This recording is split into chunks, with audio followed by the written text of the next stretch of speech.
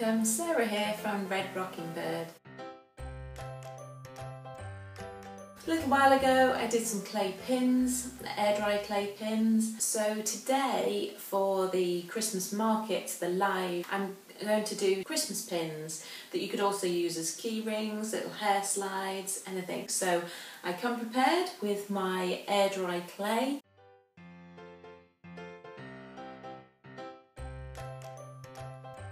So it's been on and I think I've left a bit of a trail of destruction and got pretty messy hands now. And I'm just going to carry on and paint some more of the pins and the accessories.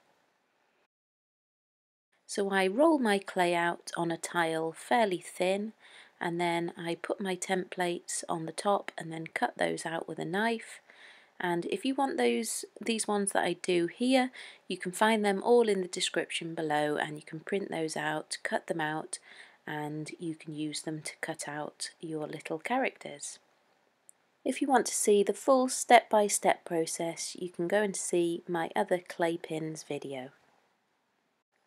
I let the clay pieces dry fully and then once they were fully dry I would give them a light sand and then two coats of white acrylic paint. And then I go in with my acrylic paint again and I just paint all the little details on with a really fine little brush and I just take my time doing this, normally sitting in front of the TV or watching something that I like.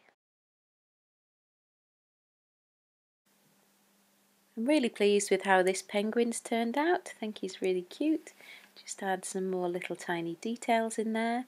So for some of the details I might use my fine brush or you can go in with a sharpie as I do later. You've just got to be careful how you varnish it when um, you use a sharpie so that the ink doesn't bleed. Add in lots of tiny little details and really bring those characters to life. Here are the two that I did on the live, they're fully dry now and we just need to take sandpaper to them and give them a good sand. I probably didn't finish these off quite as well as I normally do, but um, while they were wet that is. But if we can give them a good sand all over the top, the sides and the back, then you get a lovely finish ready to paint.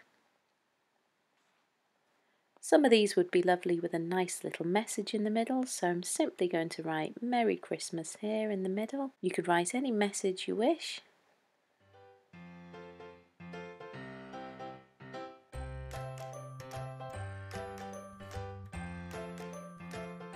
You can varnish and glaze them once you've finished. I've got another little video on how you could do that, all the different options.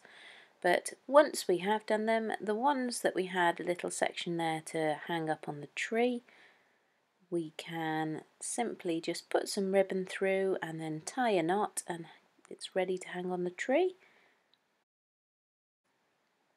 It's a nice delicate one, this one, so I will put this nice delicate ribbon through there and then tie, tie a bow and it's also ready to hang on your tree.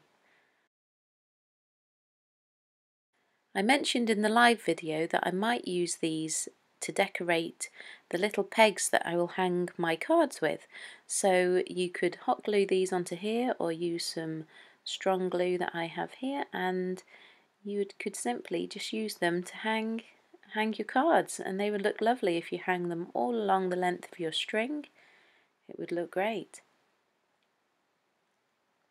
So I'm going to do that with this penguin one. I've got some tiny little pegs here so I'm simply going to take my extra quick drying glue here and going to just attach the peg on the back and then it's nearly good to go.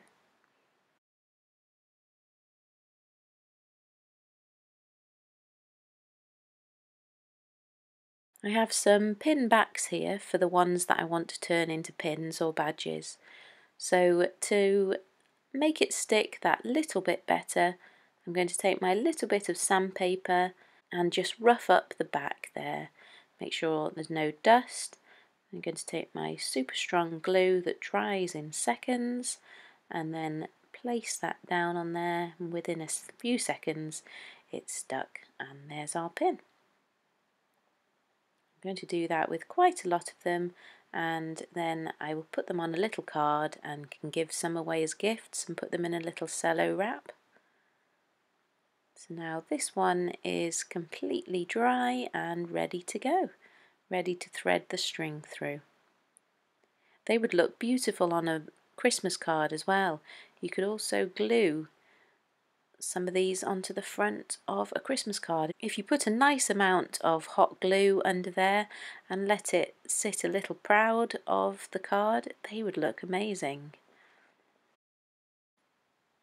So I've carried on painting them and here is my selection of pins and Christmas accessories. So I do hope you enjoy and do have a go at making them. They're absolutely beautiful. You can design your own or you can use mine. It's in the description below if you do want them and if you want to see the full video of how you make them from beginning to end I have the other video for clay pins which shows you how to make them for every single little step as we go through. And so I did really enjoy making these. I absolutely love sitting there and making them and I hope you enjoy them too. Have a wonderful Christmas and bye for now.